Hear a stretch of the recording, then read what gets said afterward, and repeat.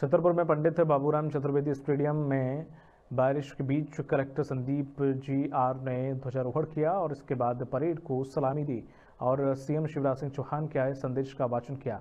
वहीं बारिश के बीच बच्चों ने सांस्कृतिक कार्यक्रम की प्रस्तुतियाँ दी, साथ ही कलेक्टर संदीप जी आर के द्वारा विभिन्न विभागों में उत्कृष्ट कार्य करने वाले अधिकारियों और कर्मचारियों को पुरस्कार वितरण किए एवं पुलिस विभाग के जवानों को सम्मानित भी किया।